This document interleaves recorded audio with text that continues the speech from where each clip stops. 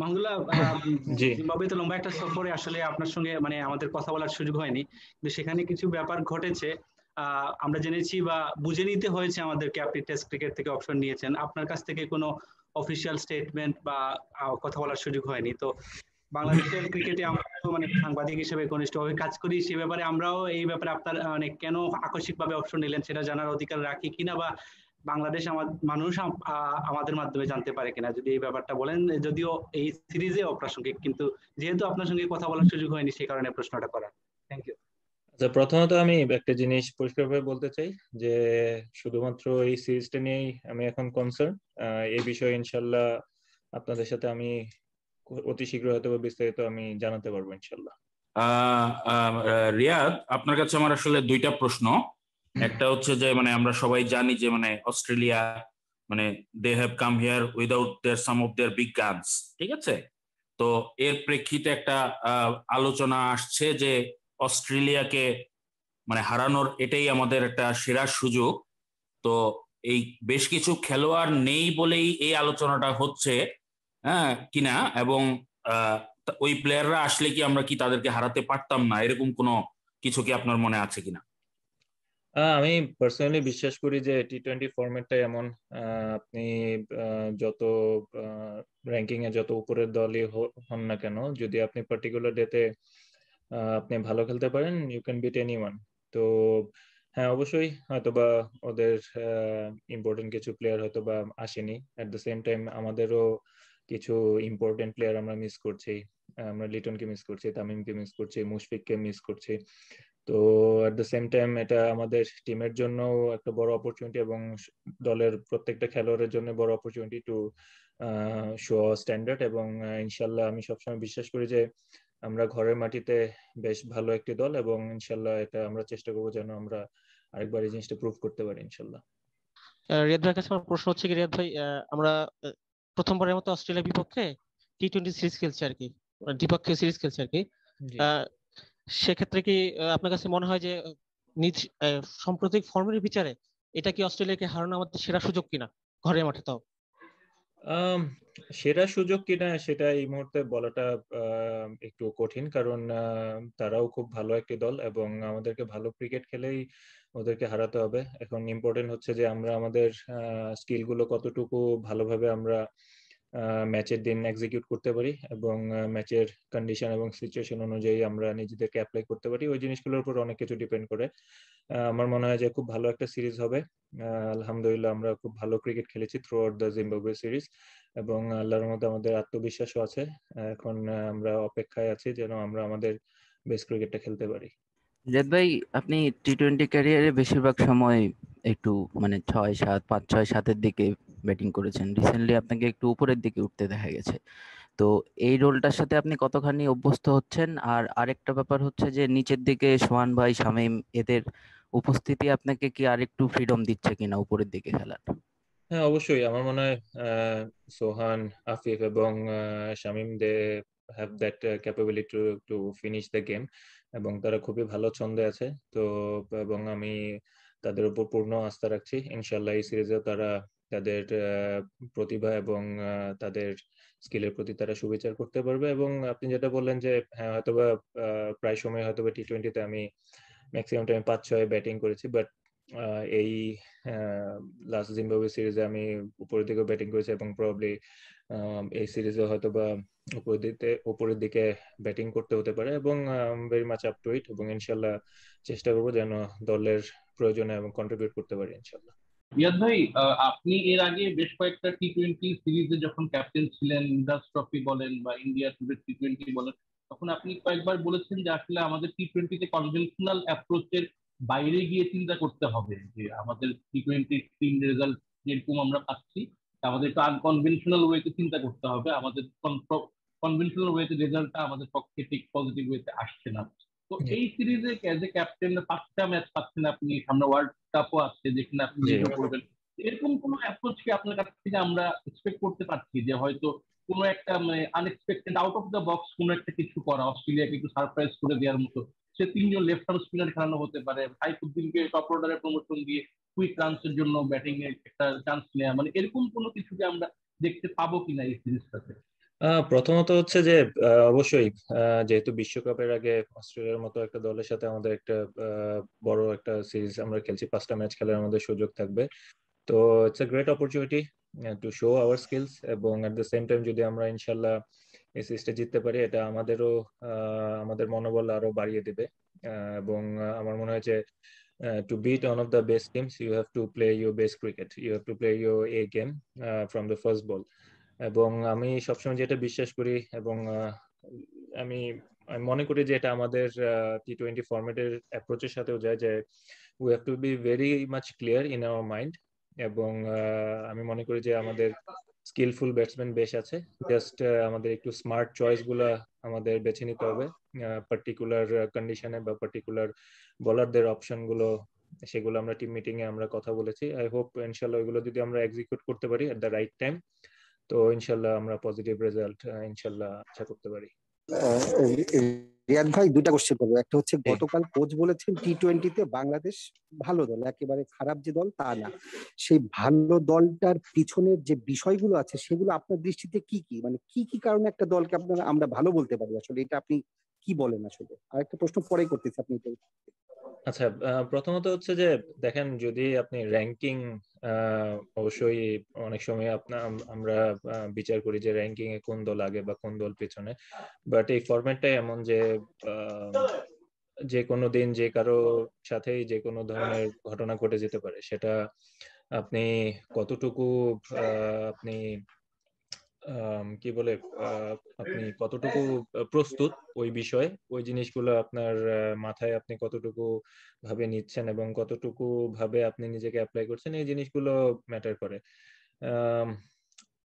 T twenty ফর্মেটে আমার মনে হয় যে বেশ আমাদের, এই মুহূর্তে আমাদের দলটা বেশ ব্যালেন্সড আপনি যদি আমাদের অলরাউন্ডিং সাইডটা দেখেন, বেশ প্রায় পাঁচ থেকে ছয় জন অলরাউন্ডার আমরা খেলি। এবং আমাদের বোলিং ডিপার্টমেন্টও এখন বেশ ভালো। Mustafiz is fit now Shoriful has been bowling really well Taskin has been doing really well Rubel আছে। সাইফুদ্দিন আমাদের on the best T twenty bowler এবং স্পিনারদের মধ্যে নাসুম এবং অবভিয়াসলি সাকিব তো আছেই। Mehedi is a very good option as well Taijul আছে। তো আমাদের স্পিনিং ডিপার্টমেন্টও খুব ভালো। আমার মনে হয় যে এই ডিপার্টমেন্টগুলো যদি আমরা একটু সুনির্দিষ্টভাবে একটু চিন্তা ভাবনা করি এবং নিজেদেরকে মেলে ধরতে পারি তাহলে আমাদের আরও ভালো করা সম্ভব এবং আমি দৃঢ়ভাবে বিশ্বাস করি যে আমাদের দলটা আরও ভালো ক্রিকেট খেলার সামর্থ্য রাখে এবং যদি এটা আমরা করতে পারি, ইনশাল্লাহ র্যাঙ্কিং এ অনেক পরিবর্তন আসবে শীঘ্রই। আরেকটা জিনিস যেটা বলছিলাম যে এই সিরিজটা শুরুর আগে অস্ট্রেলিয়া যে ধরনের রুলস এন্ড রেগুলেশন কিংবা বিধিনিষেধ আরোপ করে আসছে যে কারণে আমরাও সাফারার হয়েছি যেমন আমাদের মুশফিক খেলতে পারছে না আমাদের প্রধান কিউরেটর মাঠে ঢুকতে পারতেছে না। মানে তারা মানে সব মিলে আসলে দর্শকদের উপরে একটা আগলা একটা প্রত্যাশার চাপ কিন্তু বেড়েছে যে এরকম বিষয়টা যে বাংলাদেশ এই সব কিছু জবাব মাঠে দেবে। আপনারা কতটা আসলে প্রস্তুত? আপনারা কি আলাদা কোনো কোনো মানে ইয়া মোটিভেশন পাচ্ছেন কিনা? তাদেরকে কিছু একটা করে দেখাতে হবে টু বি অনেস্ট অবশ্যই মুশফিক আমাদের অন্যতম একজন গুরুত্বপূর্ণ প্লেয়ার ওকে না পাওয়াটা অবশ্যই এটা দুর্ভাগ্য বাট যেই কনসার্নগুলোর বিষয়ে আপনি বলেছেন, আসলে এই জিনিসগুলো নিয়ে আমাদের এই মুহূর্তে খুব একটা চিন্তা ভাবনা নেই। আমাদের চিন্তা ভাবনা আমরা মাঠে কীভাবে পারফর্ম করব এবং আমরা যেন ম্যাচ জিততে পারি বাংলাদেশের জন্য, এটাই আমাদের মেইন ফোকাস দুটো ব্যাপার আছে। একটা হলো যে, আপনি অনেকের কথা বলছিলেন যারা নাই, অবশ্যই আমাদের টপ কিছু প্লেয়ার নেই বাট যারা আছেন, এই মুহূর্তে তারাই তো বাংলাদেশের টিম এবং তারা যাতে মানে নিজেদেরকে কোনো লেস মনে না করে এবং তারা যাতে ইম্পর্টেন্ট ফিল করে এটা আপনি কীভাবে এনশিওর করছেন? এটা ফার্স্ট পার্ট আর সেকেন্ড ব্যাপার হলো যে স্টার হেজেলুড আছে ওদের স্পিনার ভালো স্পিনার তো পরে আছে বাট নতুন বলে তারা যদি শুরু করবেন। তো তাদের এগেনস্টে আমাদের ওপেনারদের কিংবা টপ অর্ডারদের রোল আপনি কীভাবে ডিফেন্ড করবেন স্পেশালি মিরপুরের উইকেটে আমার মনে হয় আমার মনে হয় যে আপনি যাদের নাম বললেন বা অন্যান্য যে প্লেয়ারগুলো আছে, সবার প্রতি আমাদের আস্থা রাখতে হবে অ্যাজ এ টিম আমাদের ভালো খেলতে হবে। সেটাই আমাদের স্ট্রেংথ আমি এটা বিশ্বাস করি। আমরা যখন অ্যাজ এ টিম আমরা ভালো পারফর্ম করি, ছোট ছোট বক্সগুলো আমরা সঠিকভাবে এক্সিকিউট করতে পারি, তো তখন অ্যাজ এ টিম আমরা বেশ স্ট্রং থাকি এবং আমার মনে হয় ওইটাই আমাদের অন্যতম একটা স্ট্রেংথ এবং সেকেন্ড কোশ্চেনটা কি ছিল? সেকেন্ডটা ছিল আপনার ওপেনারদের রোল স্টার কেজিলোদের আচ্ছা বলার অবশ্যই তাদের তো বেশ ওয়ার্ল্ড ক্লাস বলার আছে। স্টার ক্যাজেলুট আপনি যাদের নাম বলেন জাম্পা দেওয়ালার ওয়ার্ল্ড ক্লাস বলার তো এবং এটা খুব চ্যালেঞ্জিং একটা সিরিজ হবে। বাট আমরা আশাবাদী আমরা যদি আমাদের স্কিলগুলো সঠিকভাবে ইউজ করতে পারি ইনশাল্লাহ we can overcome those pressure এবং দোজ হার্ডেলস ইনশাল্লাহ। আমি আসলে ওপেনারদের রোলের কথা স্পেসিফিক একটু জানতে চাচ্ছিলাম। মানে মিরপুরের উইকেটে অনেক সময় দেখা যায় হ্যাঁ। অনেক সময় স্লো উইকেট থাকলে বলা হয় যে একে ছয় ওভার ধরে খেলতে। আবার মানে অনেক ব্যাটিং উইকেট থাকলে তো অবভিয়াসলি ডিফারেন্ট হবে। সো এবার কি এ থাকতে পারে? না ডিপেন্ড করে। দেখেন মিরপুরের উইকেটে আপনি উইকেট অ্যাসেস করাটা অনেক বেশি ইম্পর্টেন্ট এটা আমি সবসময় বিশেষ করি। যখনই আপনি যে ফরম্যাটে খেলেন সেটা টেস্ট হোক ওয়ান ডে হোক বা টি টোয়েন্টি হোক উইকেট অ্যাসেসমেন্টটা অনেক important specially playing in Mirpur. আমার মনে হয় যে ওপেনাররা সবসময় যেভাবে স্টার্ট করে আই থিঙ্ক ফ্রিডম নিয়ে খেলাটা ইম্পর্টেন্ট কারণ তাদের ওই ফ্রিডম দেওয়াটাও আমার কাছে মানে টিম ম্যানেজমেন্ট থেকে ওইভাবেই কথা বলা হয়েছে যেন তারা ফ্রিডম নিয়ে খেলতে পারে। If we can get a good start from the openers I think ইনশাল্লাহ we can roll it on in the next few overs অস্ট্রেলিয়ার সঙ্গে আপনারা চারটা ম্যাচ খেলেছেন এই পর্যন্ত সবগুলি বিশ্বকাপ ম্যাচ এবং সেই বিশ্বকাপ ম্যাচগুলিতে দুই সাল ছাড়া খুব বেশি কম্পিটিটিভ গেম আপনারা দিতে পারেননি। এবার কি মনে হয় যে যেহেতু আপনারা সোয়েন বর্তমান সময় একটু ভালো ক্রিকেট খেলছেন বিশেষ করে টি টোয়েন্টিতে সেই ছন্দটা কি আপনারা এখানে হান্ড্রেড পার্সেন্ট দিতে পারবেন কিনা? এই কন্ডিশনের বায়ু বাবলের ভিতরে থেকে এক। দ্বিতীয়ত হচ্ছে যে তামিম ইকবাল নিউজিল্যান্ডে খেলেনি জিম্বাবুয়েতে খেলেনি এখানেও খেলছে না। এবং নেক্সট সিরিজে হয়তো মিস করতে পারে। যদি মিস করে তাহলে তার কি ওয়ার্ল্ড কাপের মতো স্কোয়াডে কাম ব্যাক করার কোনো স্কোপ আছে কিনা? বিকজ যদিও একটা ইংল্যান্ড সিরিজ আছে সামনে। আচ্ছা প্রথম কোশ্চেনটা সরি ভুলে যাই আমি কোশ্চেন ভুলে যাই সরি খুবই শর্ট মেমোরি প্রথম কোশ্চেন হলো আপনার অস্ট্রেলিয়ার বিপক্ষে আপনার চারটা ম্যাচ খেলেছেন তাও বিশ্বকাপ রাউন্ড মানে ম্যাচ এই প্রত্যেকটা ম্যাচই আপনারা খুব ভালো কমপ্লিট করতে পারেননি। আচ্ছা হ্যাঁ ধরতে পেরেছে। জি জি।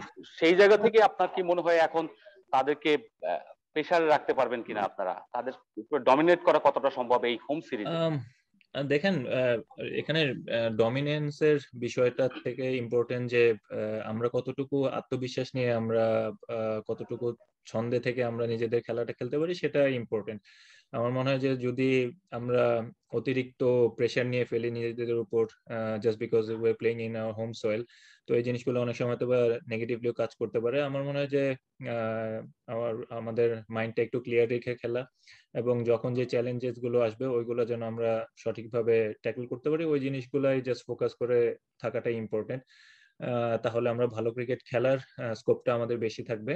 যদি আমাদের নিজেদের উপর বেশি আমরা প্রেশারটা নিয়ে নিই, তাহলে হয়তো বা এটা হিতে বিপরীত হতে পারে। আমার মনে হয় just we need to keep it simple এবং কিপ চ্যালেঞ্জিং আওয়ার সেলফ এবং আমরা যে ধরনের ছন্দে আছে, আমি আশাবাদী আমরা ভালো রেজাল্ট করতে পারব ইনশাল্লাহ।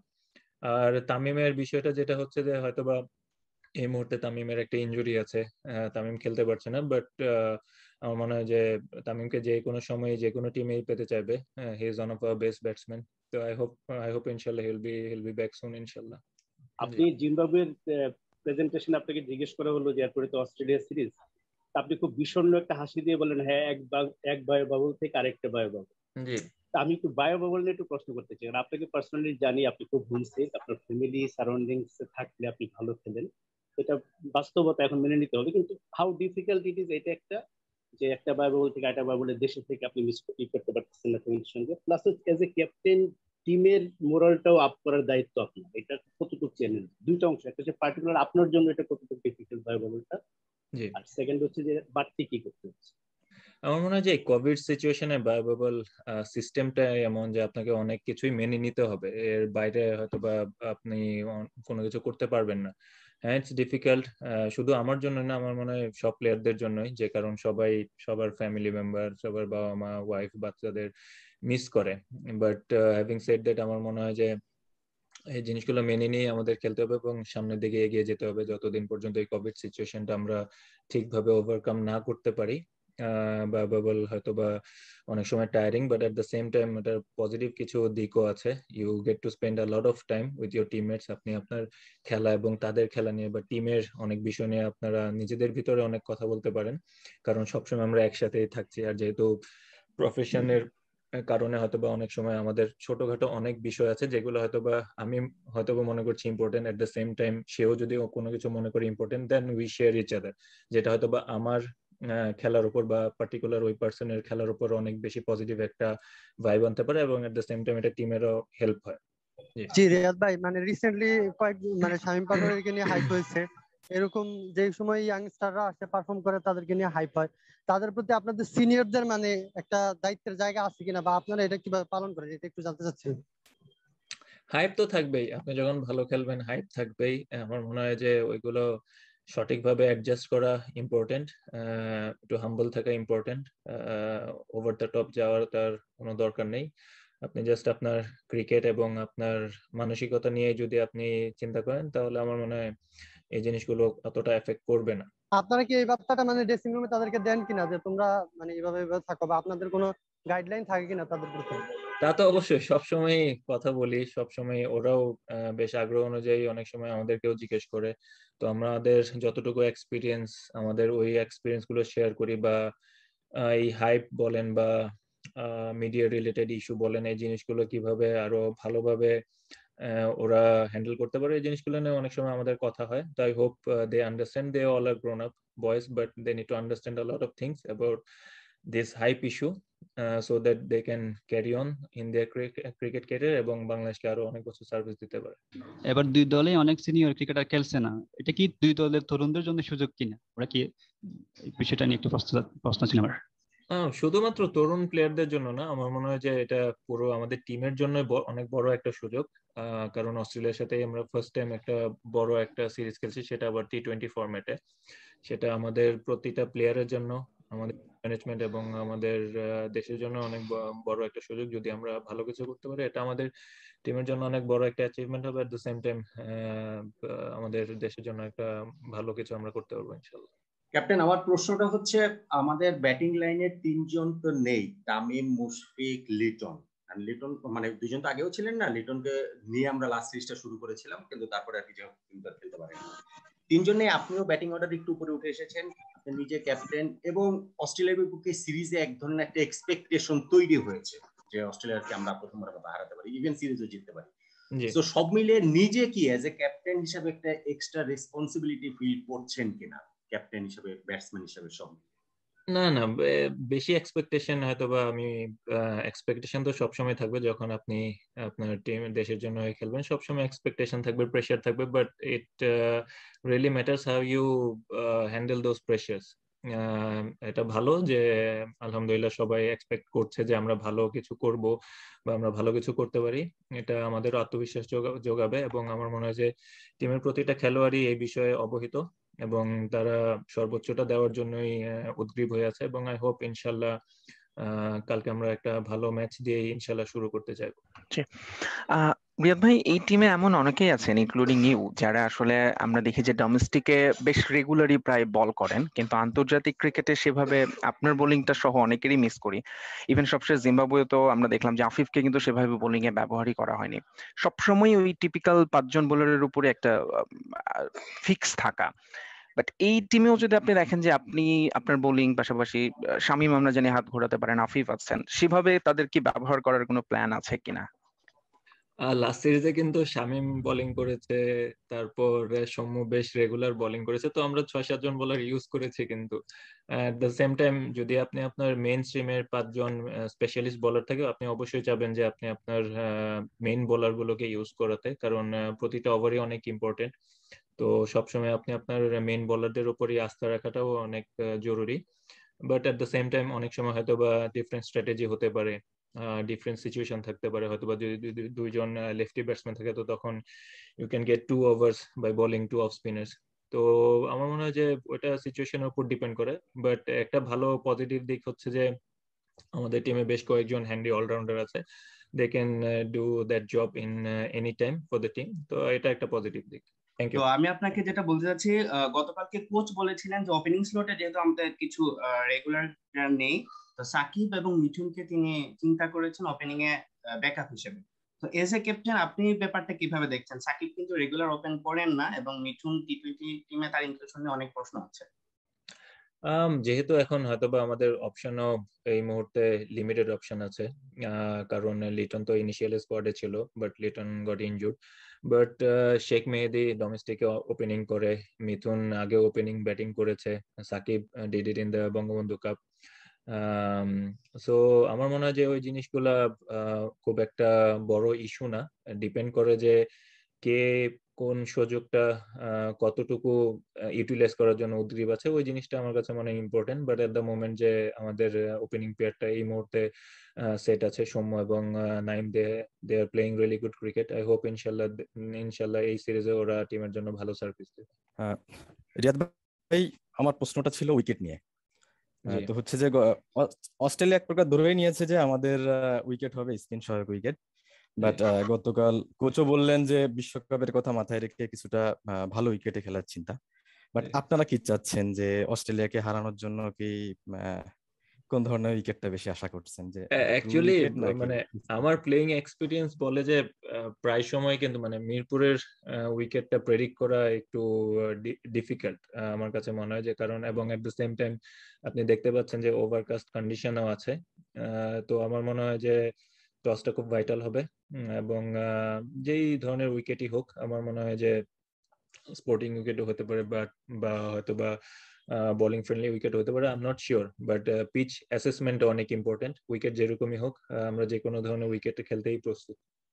রিয়াদ এখানে আমার দুইটা প্রশ্ন প্রথম প্রশ্নটা একটু আগে করি পরে আরেকটা করছি। সময় কিন্তু খুব কম।